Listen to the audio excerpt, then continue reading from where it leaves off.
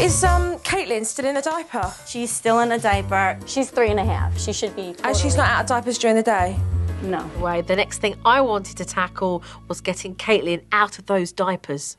What exactly is happening at the moment with Katelyn's potty training? Kathy and Donna definitely need to be on the same page with potty training so that they don't give Katelyn mixed messages. I keep diapers on her during the day. She doesn't want to be in the diapers because she takes them off during the day and tells me throw them away. Then other Okay. days she'll take and want to wear them because she doesn't know what's right. Right.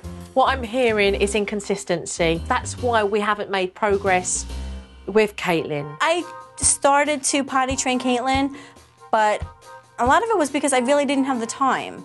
It is easier to put her in a diaper. We're going to do potty training. What do we need on that checklist? Well, we do need plenty of panties. Right. That's for sure. And we need to be realistic with the fact that there may be some accidents. The next thing we want to be able to do is to be able to give these fun little rewards for when they do go to the potty. And I think they're a great fun little idea that you give them a smiley face and you tell them how pleased you are. So we've got the potty here.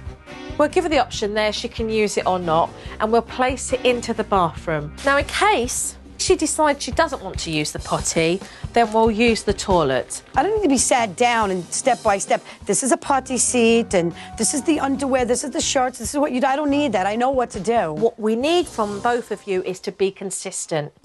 Now we needed to tell Katelyn that she was going to move along and get out of those diapers. Are you going to put one on now? Are you going to put some panties on? Great. Okay, you choose. What pants is he going to put on now? Look. It was important for Mum to teach Katelyn exactly what to do when she needed to go potty.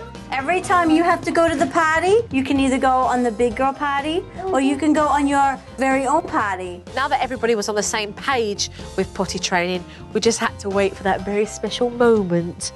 And soon enough, Katelyn peeps her head around that bathroom. Katelyn, you do it. Oh my word! You did potty. You did very, very good. We always wash our hands. Katelyn was very proud of herself. So I just hope we don't see her in diapers anymore. Do you know why Mummy gave you that sticker? Why? Because you did a wee wee and poop on the potty. You're a big girl.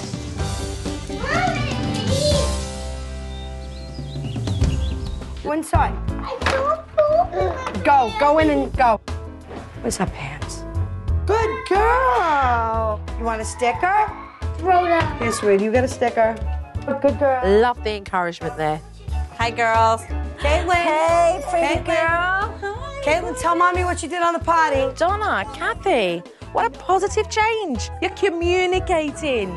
Good girl. Give me kiss. Super nanny stuff works. Jo really helped. She did. I told you. She did go. Yep, it's only been She went in by herself. Then I was like, well, maybe some of the techniques work. You're next. Mommy's Right? gonna teach you what Jo taught mommy. I'm willing to try to a point, I guess. I'm willing to try.